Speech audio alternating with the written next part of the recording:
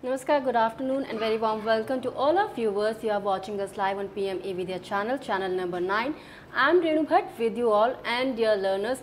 In this specific session, we are going to learn more about a beautiful poem that is for 9th standard English student. The title is Rain on the Roof and we all love rain uh, irrespective of our age or irrespective of the problems that we faced in this particular season. And for more details on this poem, we have our expert in our studio. You are Miss Meenu Gupta, Mentor Teacher, Directorate of Education, Delhi. Very warm welcome, ma'am. Good afternoon. And uh, dear learners, if you have any query or you want to share your experience, feel free to connect to us uh, through our various mediums. You can call us on our telephone number that is double eight double zero double four zero double five nine, or you can either send a mail also at our email address that is dth.class9 at the rate ciet.nic.in and these are the various mediums through which you can connect to us directly in this live phone-in program of PM Vidya channel. So ma'am, uh, without uh, wasting our time, precious time, let's move towards the content of this uh, session, of this poem. Uh, I would rather ask you what are the objective of this poem ma'am? See, objective of any poem when we do it in our class would be first the learner is able to read the poem with hmm. the proper intonation, stress, rhythm, rhyme.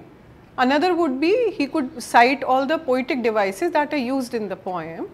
And if we move on to our PPT, we can see the objectives displayed there as well. Yeah.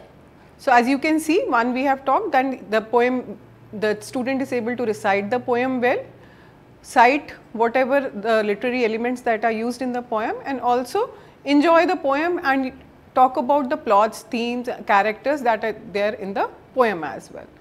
So, hmm. before we begin, let me ask you Renu, which is your favorite season? I just love winters. You love winters and yeah, why? I love winter. Because I'm a winter baby.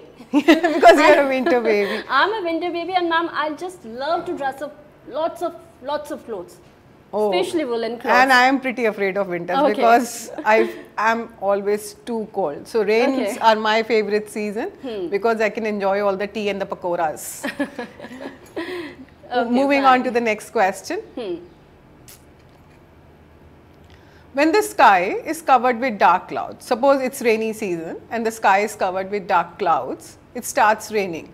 Have you ever heard to the patter of the rain on the roof. Have you ever heard Renu? Yeah, lots of time. Lot of time. And what thoughts come to your mind when you hear this sound? It sounds so good. It sounds good. It's musical actually. Yeah. And if you think about the sound, there are many songs that are there on the rainy exactly. season and the sound of the rain. So hmm. you remember those sounds. Hmm. So in this poem, let us know about what the poet thinks about when he heard, hears sound of the rain on hmm. the roof. So, before we begin, let us just read the poem and enjoy the rhythm. When the humid showers hover over the starry spheres and the melancholy darkness gently weeps in rainy tears, what a bliss to press the pillow of a cottage chamber bed and lie listening to the patter of the soft rain overhead. Every tinkle on the shingles has an echo in the heart and a thousand dreamy fancies into busy being start and a thousand recollections weave their airheads into woof as I lit into the patter of the rain upon the roof. Now in my memory comes my mother as she used in years agone to regard the darling dreamers ere she left them till the dawn. Oh, I feel her fond look on me as I list to this refrain which is played upon the shingles by the patter of the rain.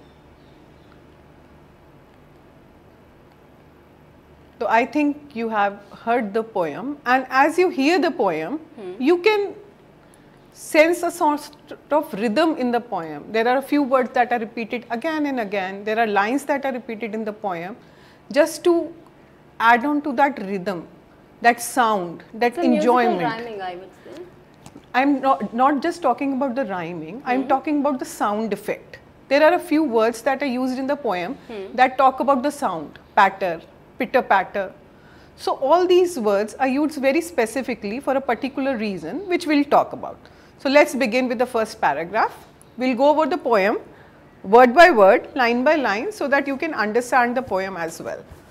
So, when the humid shadows hover, humid because it is rainy season, the air is full of moisture. So, here air would feel heavy, everything is wet. So, that is called humid over the starry spheres.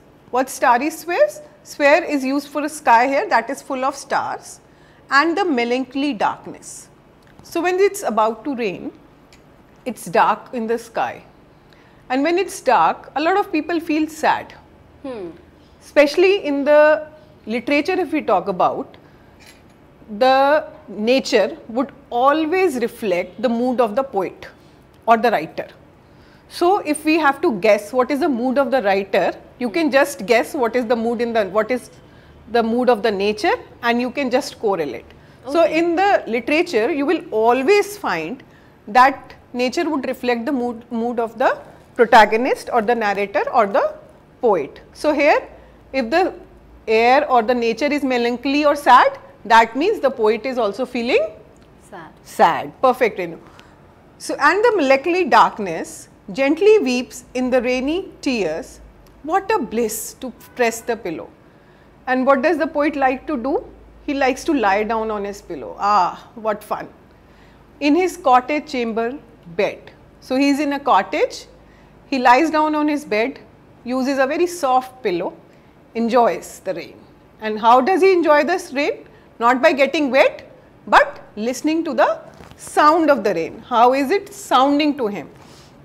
and lie listening to the patter of the soft rain overhead. Obviously, the rain as it is falling, it is coming, it is sounding on the roof hmm. and why it is sounding? Because the roof is either a wooden one or an iron one that can create sound. In nowadays in our houses the rains do not make much noise because we have cemented roofs, but it is not the case with the poet he has a good cottage. So, probably the roof is either wooden or iron and the poet is able to hear the sound. Now, if we are talking about a poem, how can we forget the literary devices? So, let us talk about the literary devices that are used in the poem. If you look at the screen, you can see the PPT. There are a few literary devices I have put down for you. First one is alliteration. Alliteration is a very commonly used literary device that is just repetition of sounds. And sound here if we are talking about sound we are always talking about the first word of the letter. Okay. For example, humid heart, starry spheres, press pillow and the last one lie listening. So, all these words, all the phrases that I have mentioned on the screen you can see there is a repetition of a particular sound.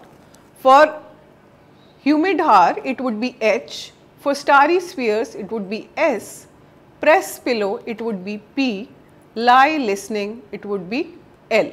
So, because there is a repetition of a particular sound, this is called alliteration. Alliteration is nothing if you remember in Hindi you have read about Anupras Alankar. So, it is just in English it is called alliteration, in Hindi it is called Anupras Alankar which is a repetition of a sound.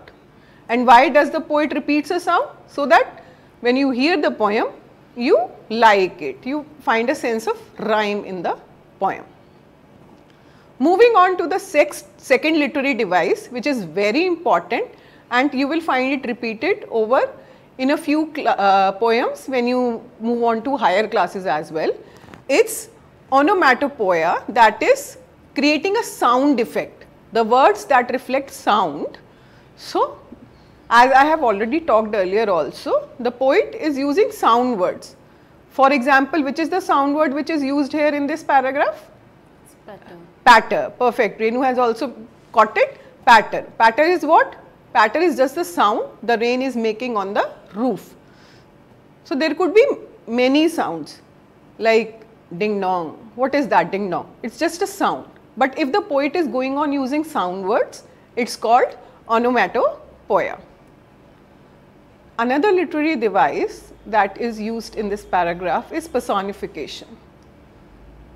Personification is when we just treat a non-living thing as a living thing. So, here the darkness which is non-living, but here it is treated as a human being and felt that it is sad. Whereas who is sad? The poet is sad, but the poet has written the poem in such a way as if the darkness itself is very sad. Another thing that is very interesting here is a transferred epithet. Transferred epithet is, you might not get a question on this, but it is an interesting literary device to know. It is nothing when we transfer our feelings, humans feel or animals feel or the living beings feel. But when we write, we transfer those feelings to a non-living thing that is called a transferred epithet. For example, here it is written melancholy darkness, whereas darkness is non-living. But mm. here it is shown as if the darkness is sad. So, here the feeling of sadness is transferred to darkness. So, it is called transferred epithet. So, it is interesting to know you might not get a question, but however you will get a question on personification or alliteration. So, please pay attention to that one. Now that we have read the paragraph, let me ask a few questions. Renu, are you, hmm. are you ready? Yes, ma'am. So, what are humid shadows here? Okay, the answers are already there, but still the dark clouds are humid shadows. Yes, because when it's dark, the clouds take over the sky hmm. and they are the ones that are creating shadows. And what are they doing? They are hiding.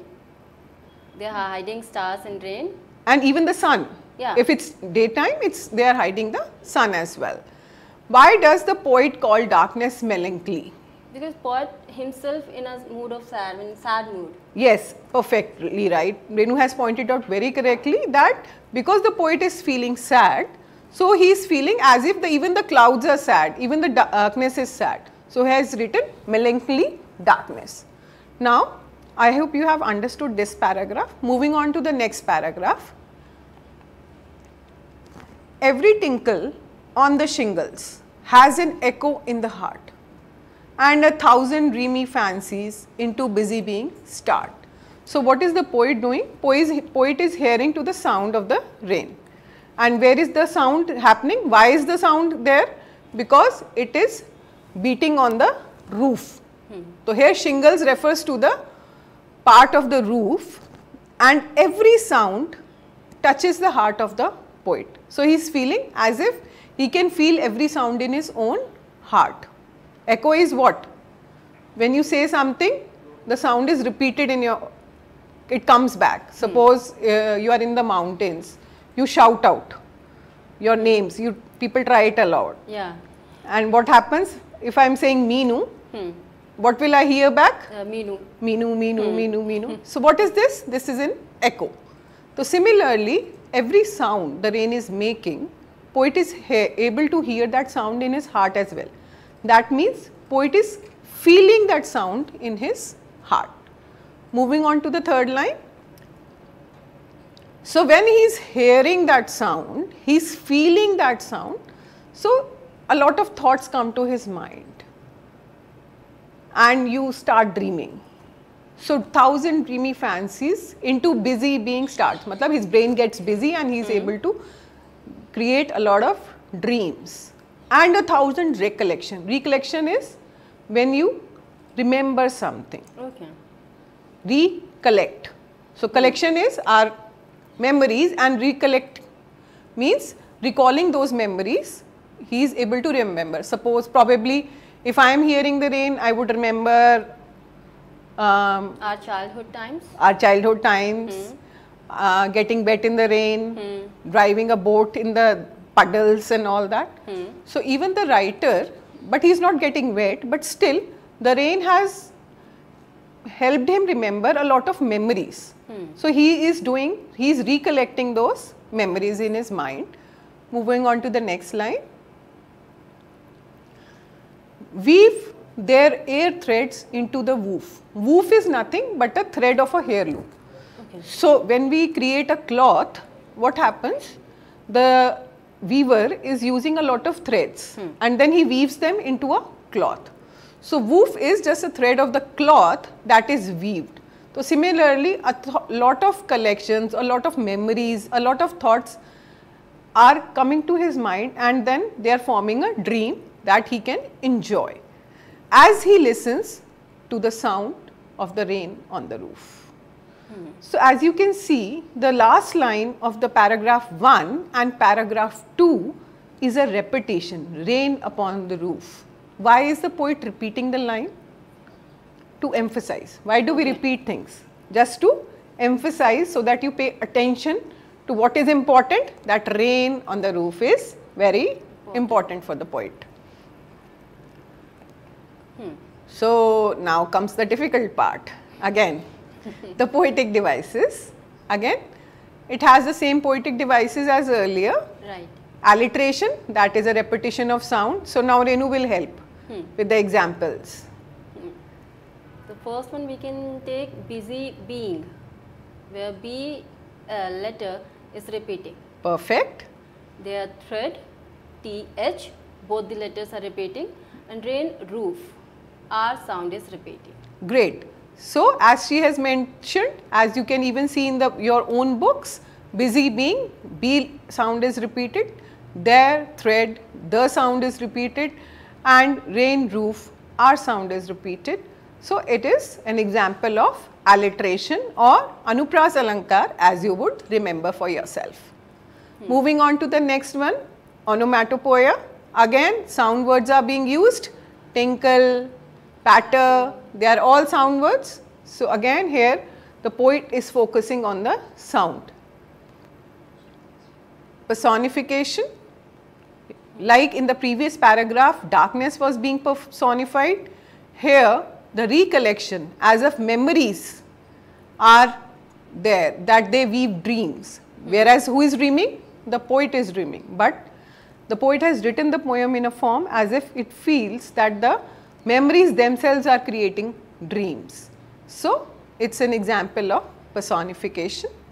Then again transferred epithet that would be where dreamy fancies example we have already discussed. So, personification and transferred epithets are usually used together because one is just personifying the non-living thing and other would mean that the feelings are being transferred to that non-living things. So, dreamy fancies here the fancies are not dreamy the poet is dreaming but here the poet has put it down as if those memories are being dreamy enough. Now comes the difficult time, question time. How does the poet describe the falling rain? Renu, Hmm. Uh, because uh, that rain is uh, creating immense pleasure in his heart. So he is saying falling rains. So he is remembering good feelings. Why do we know they are good feelings? Whereas in the earlier paragraph we have said he is sad. But when we are talking about dreamy fancies, dreams are usually beautiful. We make good dreams or remember good dreams. So he is creating dreamy fancies that means he is enjoying the rain and getting good rain, uh, good dreams. So that means he is happy. Moving on to the next question. He is sad as well as he is happy. Yes, Okay. Sa- because memories can be both sad and happy. The memories come and go. He is hearing the sound, memories come, some are sad, some are happy. So, at one moment he might be sad, at another moment he might be Happy. Okay. Perfect. Moving on to the next question. What does the mind of the poet fancy? Hmm. He is thinking about his old memories. Great, he's thinking about his old thoughts and memories. So, vocabulary question, you will always find a vocabulary question when there is a reference to context. So, please pay attention to the vocabulary. So, you have to trace a word in the extract that means memories. Yeah, it's recollection and it's a nice word.